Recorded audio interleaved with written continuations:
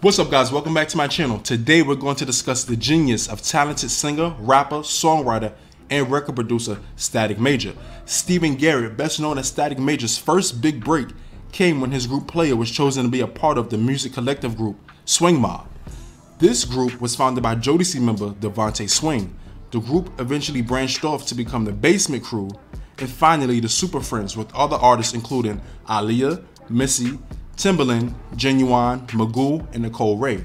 Static's group Playa had learned the ropes of production and songwriting working on Jodeci's 1995 album, The Show, The After Party, The Hotel.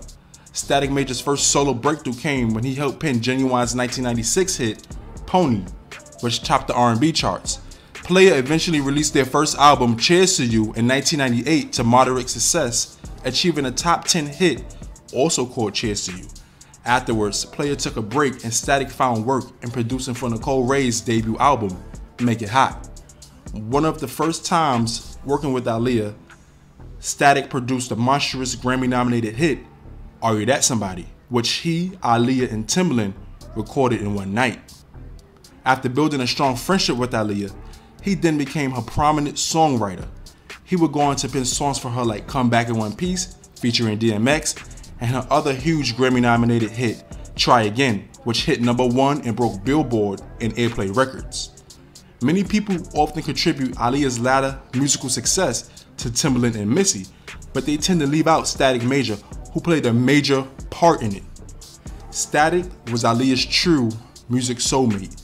Not only would Static write the songs for Aaliyah, but he would do the vocal arrangements and manipulate harmonies in a way that was fresh and relatively unheard of. This is really evident on Aaliyah's self-titled album, which she had the role of writing, vocally producing, and even singing background on most of the songs.